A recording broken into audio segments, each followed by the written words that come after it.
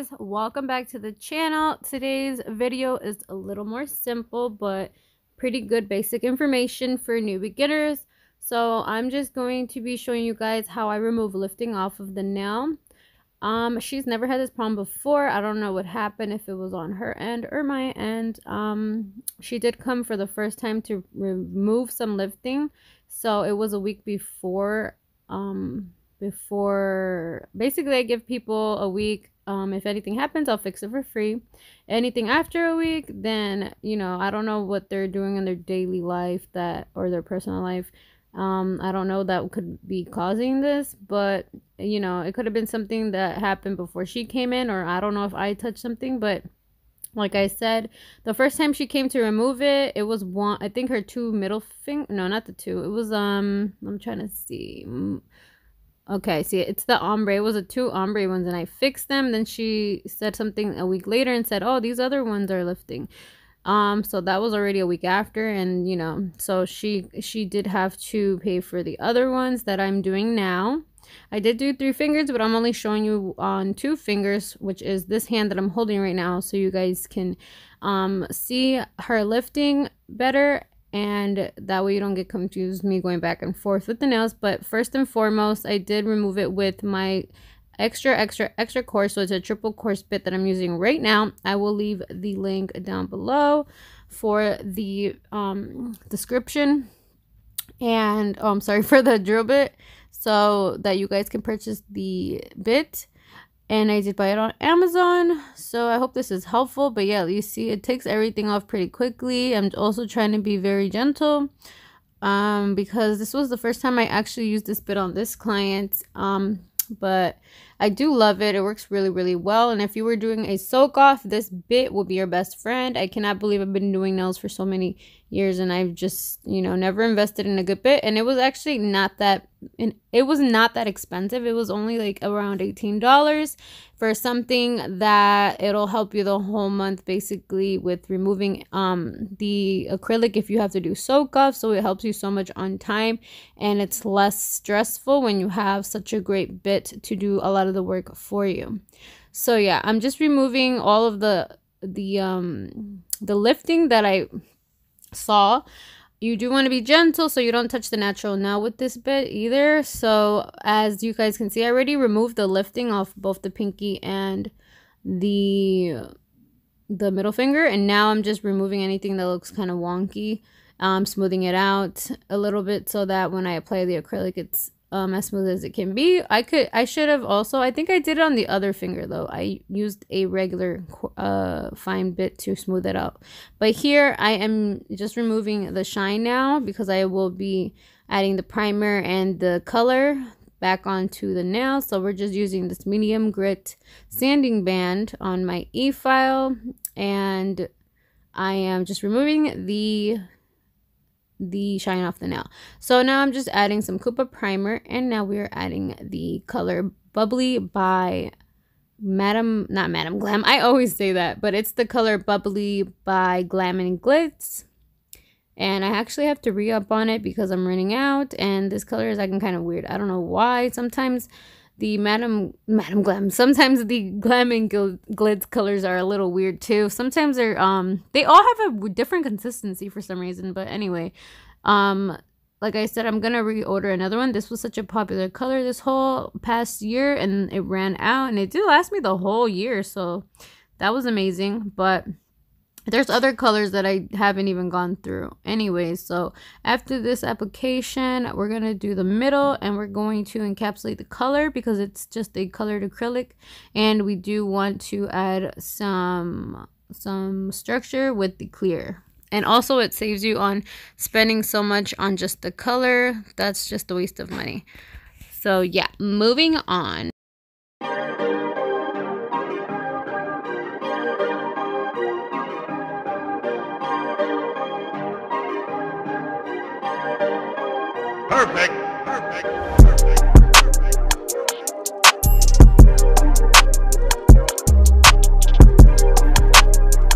So here we are. We're going to do the application, the refill application for the middle finger.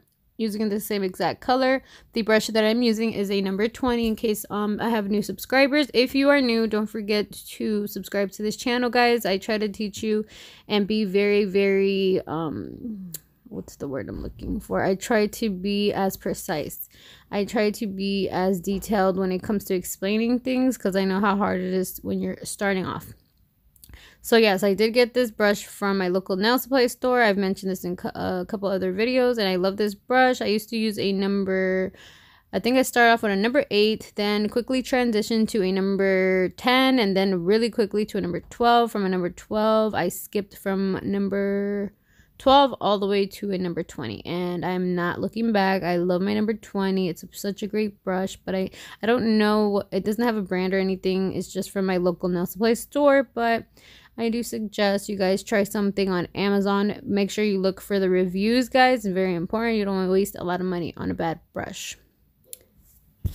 And for the liquid, I am using Young Nails because I don't have any more Kupa because they take forever. Next time I order you guys, I swear I'm going to just pay the extra money to get it here quicker because it is so annoying to have to go and pay more money because my dummy self decided to wait last minute to order stuff. Anyways, so yeah. I am just going to finish this nail off and encapsulate it with the clear.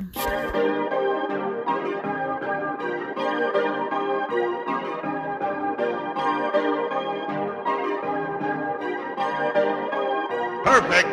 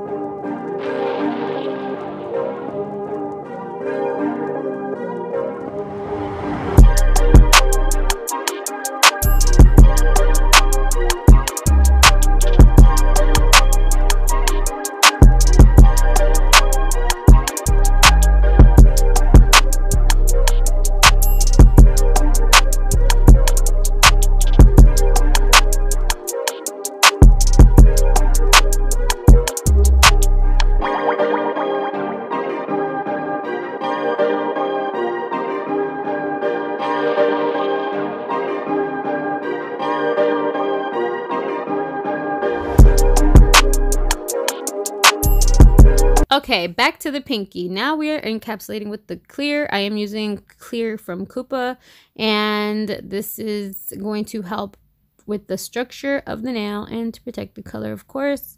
I always try to mention this in every video because I think it's really important. If you miss this step, um, that can cause a lot of issues, but sometimes it's not necessary in every single type of colored acrylic. I just, I, you, I can kind of tell now like what needs extra structure, especially in ombre. If you're not really good at ombres and you need to add that encapsulation with the clear, then um, it's really important that you do that. But I've, I've done, um, I've done ombres where I never really needed to use the clear because I just did it so nicely that um, it wasn't lumpy or anything. One end wasn't bigger or more thicker than the other side where I didn't have to add extra structure to it, if that makes sense. So anyway, now that we're done with the encapsulation, I'm going to go ahead, grab my 100 grit file. This one's actually a 100, 180 from Sally's, and I love this file. As you guys can see to my left, that's the file I'll be using to shape my nails.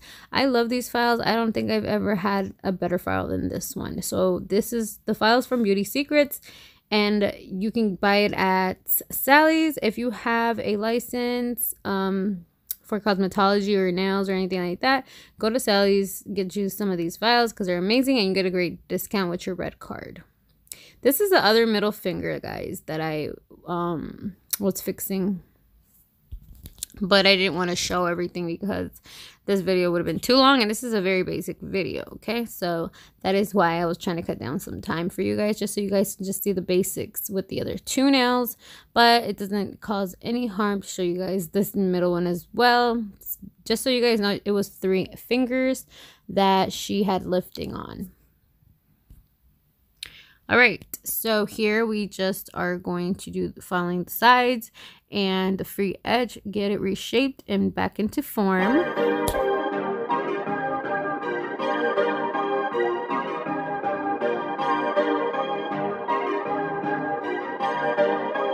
Perfect.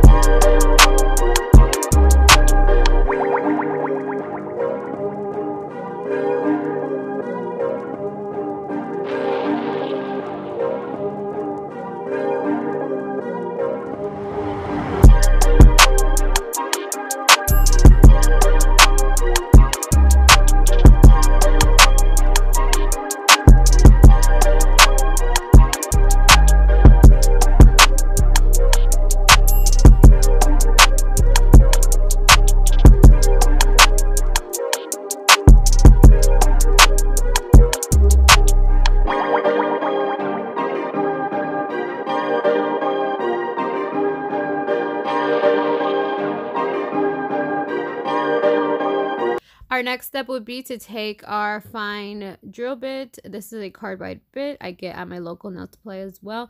And you can also order these on Amazon, eBay, AliExpress, any of those sorts of um, places. You can also order it from other uh, people that sell them online. Just make sure that you watch out for the reviews because on AliExpress, I'm not gonna lie, I've had some good ones, I've had some bad ones. You just never know when you go to AliExpress. But basically, I'm just taking this um, bit and I'm just going around the cuticle area and the surface of the nail to remove any lumpiness or anything like that. So I also go underneath like the free edge part and remove any acrylic that may be stuck on there. And I also do the cuticle area and the surface of the nail to get it back into shape, get it all cleaned up, remove any excess acrylic that may be stuck to the skin, and that is what would cause lifting. I don't think that this was her problem per se. I don't really know what happened. I don't know if maybe I had some oil on my fingers or she did, but it was something. So as the nail tech, I have to take precaution and make sure that that wasn't me. I always wash my hands though before anyone comes because I feel a lot more I just feel like 100% like, okay, I know for fact it's not me. But you just never know. Sometimes, you know, I do have the bottle of oil on my table and I don't know if I touched it before I started, but who knows what it was. Um, it's just very good to know that this never happened with her before, and she's always had like her nails can sustain acrylics on for so long. It's not even funny. Some people I've noticed that they last a lot longer on them, and other people not so much. It just really depends on the person, their natural nail beds, if they're oily, if they're not too oily, um, what their lifestyle's like, and things of that sort. All right, so we're buffing the nails. And after buffing, we're going to clean them up with some alcohol and a little paper towel or a little wipey. Um, and then I could take my DND gel and put it on the pinky because the pinky is where her chrome was and that's what we are doing. Um, so the gel went to the LED lamp for one minute, came out, and now we're doing the unicorn chrome. And I will be I will be closing that off with gel and that will be going into the lamp for, oh, I got a notification. That will be going into the lamp for one minute. And so we're going to start adding back her diamonds. She did have diamonds prior. You guys saw me remove them with the cuticle nippers. And now we're just going to be redoing the same little um, design that she had. It was basically diamonds around her cuticle area and then that will be all. We're just gonna add the gel right after but the pen that i'm using to pick up the stones is actually a wax pencil and they are very very inexpensive. I got them on amazon. They're like literally a dollar or less and they are a great investment. I've had the same three for so long, it's not even funny. I didn't like the diamond how I placed it there, so I removed it with some nippers. You can easily do that, you guys. It's very easy. So if you're not happy with how it looks, please remove it. Your client will, will most likely be so grateful for the fact that you care that much and you are willing to fix it because I've had so many clients tell me that when they go to the nail salons that they notice like they're very careless they don't care they hope that you don't notice and if you do notice they get mad um which is not right. So you have to make sure that your clients are happy anything that you can do you know to make them happy. Of course you, um if you do have clients that are very very very very extremely picky and stuff like that like i get it it's very stressful but um you know you can also pick your clients you guys. You don't have to take people if you don't like them. If i mean if you're self-employed of course. But I, honestly i love all my clients. I'm very happy with all of them. They you know for the most part know what they want when they come in. So that saves me a lot of time and a lot of stress that i don't have to think about like okay i'm running out of time and they can't make up their mind. So a lot of my clients are very good on you know making up their mind. Of course i do get the ladies that are like oh i still don't know what i want which is totally fine. We figure it out together when they come um, that is very much appreciated. So anyways, um, I'm adding the gel polish and it's going in the lamp for one minute and I am just adding the polish on the other one as well that got messed up and that will be going into my LED lamp as well for one minute. This is a non-wipe top coat, of course. That is why I used it for the chrome. Um, as you guys can see, my little diamond thing, it looks bad. Be careful if you're going to add gel activator spray by Mia Secret because that's what happened to it. Um, it makes sense to me now. But anyway, I'm going to get a new one because it looks so really, that just looks horrible to me. Or I'll just keep these in here because I'm going to buy some Swarovskis soon and maybe I'll just um have a separate one for Swarovskis. But anyway, I just applied the cuticle oil and that is pretty much it, you guys. Don't forget to like, comment, and subscribe for more videos, you guys. And please like this video. It helps me with the YouTube algorithm, guys. So much appreciated. Love you guys. Take care. Bye-bye.